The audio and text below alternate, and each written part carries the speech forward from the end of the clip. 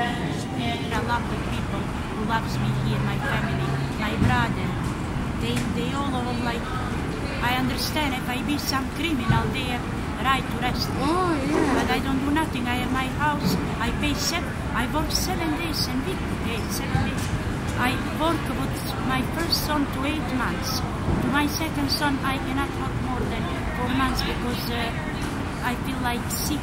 Like I can't. But with him, I work Saturday, Sunday. I have the baby. I work very hard for my kids and Should be given a 10 year bar. because 10 year bar. Being deported, but there's different waivers that you can apply for to, uh, to go through that. So right now, she on ban, she on It's a 10 year. It's a 10 year waiting period to reapply for. But you said there's ways around it. There's wait.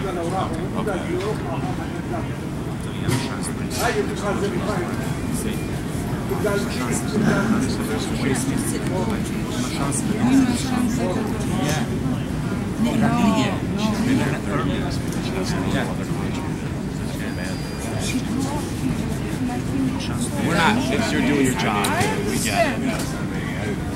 I don't even know anything about this case. He doesn't know anything about the. Yeah. You guys, uh, we're doing the job. I understand.